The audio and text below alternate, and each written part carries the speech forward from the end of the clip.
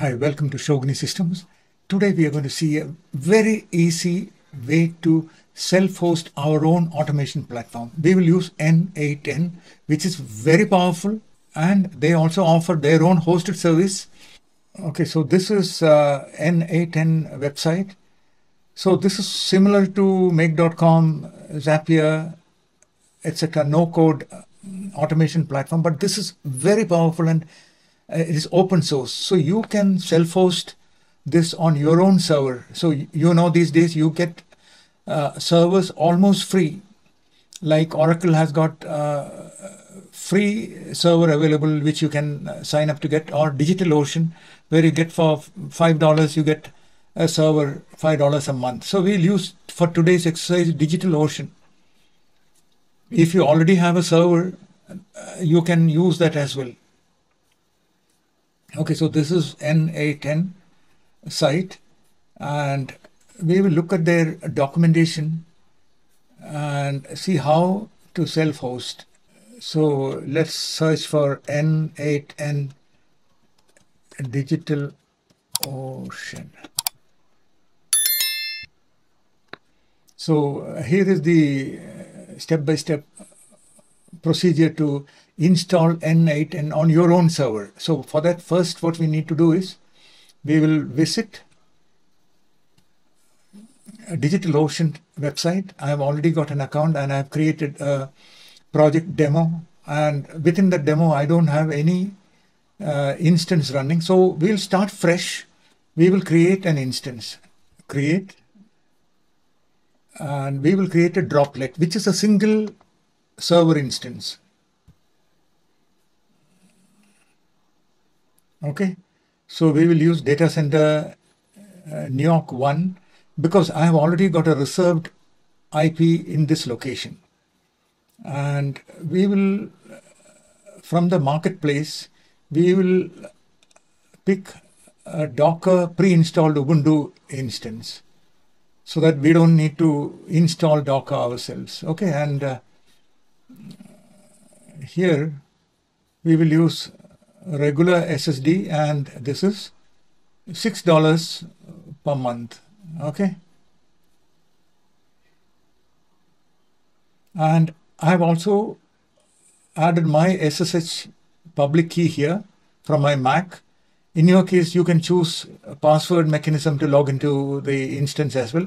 And if you don't have a terminal using which uh, you can access the server, you can. They also provide a cloud a web-based console, which also can be used. So for now, I will use the SSH key-based access and rest everything, we leave it as it is. So let's wait for it to load. Okay, so the droplet is being created. Okay, so now here we have an IP address for this droplet.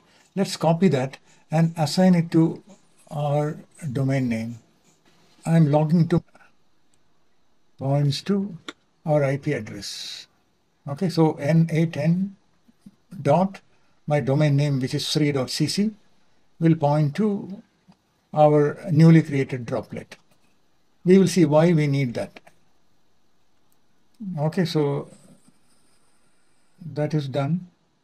Okay, so n8n is pointing to our domain. Now let's come back to our Bluehost Okay, so our droplet is ready. Okay, and we have the IP address. So we will use the IP address to get inside the droplet. So how do we get in? SSH root SSH minus I and I will use my private key root at the newly created droplet's IP address. Let's confirm the IP address. It is ending in 32. Okay, so okay, perfect. I am inside the newly created droplet. Now what we'll do is we will look at the documentation and follow step by step to get. So first I will add my username to the server so that we don't need to log in as root every time. Okay, so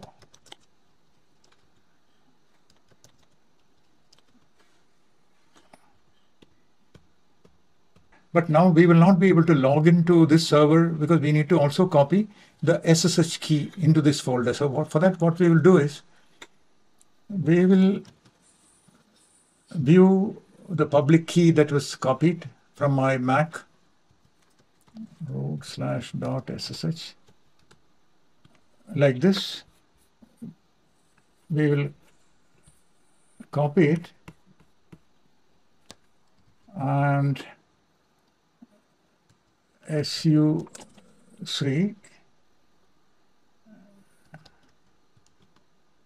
I am in my home directory. I will SSH key I will execute SSH keygen so that the folder gets created and now nano.ssh authorize authorized keys. Okay, so authorized keys I will open and paste paste the public key of my server. Let me now exit out of this server to confirm if we can log in as the newly created user Sri.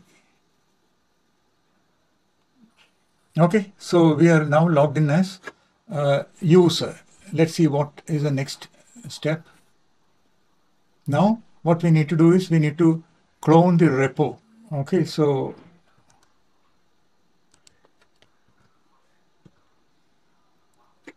and let's confirm that the Docker engine is running. Okay, so we need sudo to check Docker. Okay, Docker engine is running and we have cloned the N8N repo, which is here. And all the information that you need, the steps and the URLs, etc., are available in our community section for you to download and follow these steps. Okay, so now we have got, now let's cd into that uh, folder. Now let's open port 80 and port 443. Now let's create an env file. So directory path is home slash Sri. Domain name is sri.cc and subdomain is n8. Rest we can leave it as it is. Okay, so now what we need is we need to create the caddy file. And let's add our domain name.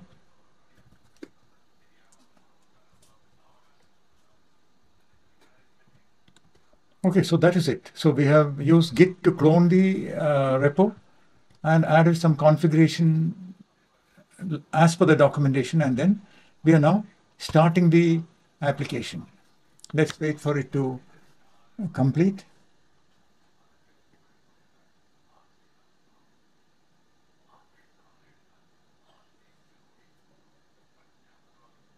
It is pulling the Docker images to start the containers. Uh, N8N application also installs the caddy uh, mechanism which allows you to have SSL access onto your N8N automation platform. So which makes it secure access. So, okay, the application is running sudo docker ps. So we have two containers running. Now, how do we access this? Let's go to our browser and browse n8n.sri.cc.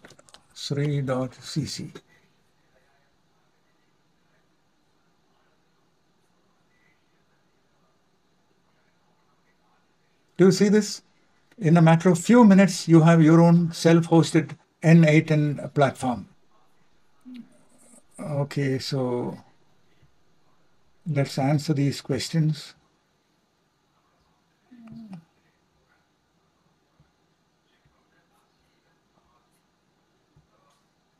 Let's start from scratch. So test the workflow. Yes. it's working. So now what we'll do is next video. So this is the first video in our series of cost-effective uh, self-hosted automation. Next video, we'll see how we can self-host our own SaaS application platform. So this, along with SaaS, will give a very powerful combination for you to go online, offer your services in a very cost-effective way. And remember, all the resources, documentation, PDF, cheat sheet are all available for you to download in our free community section. So please join our community section and also please subscribe to our YouTube channel. You will get all these videos in an organized way in our YouTube channel. So please like, share and subscribe and give your valuable comments. See you again in another video like this. Bye-bye.